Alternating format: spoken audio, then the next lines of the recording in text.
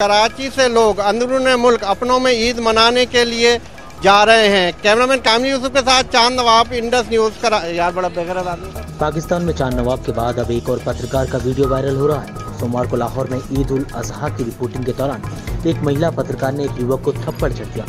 पाकिस्तान की इस महिला पत्रकार की पहचान मायरा हाशमी के रूप में हुई और अब सोशल मीडिया पर ये लेडी चाँद नवाब के नाम से मशहूर हो गई हैं। वीडियो में नज़र आ रहा है कि महिला पत्रकार ईद की खुशियों के बारे में बता रही है। इसी बीच, एक शख्स कैमरे के सामने आ गया। फिर क्या था?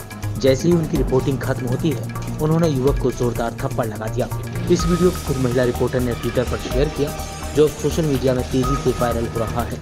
महिला रिपोर्टर के इस व्यवहार का, जहाँ कई लोगों ने विरोध किया तो कईयों ने उसका समर्थन भी किया है। ताकि बच्चों के हमरा फैमिलीज़ के हमरा जो है ईद की खुशियाँ दोबारा की जाए।